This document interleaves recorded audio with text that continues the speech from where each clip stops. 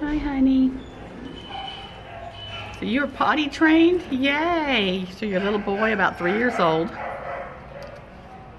That's why the kennel attendant had you outside, huh? Good job. Good job. Look at your little tail going, going, going, going.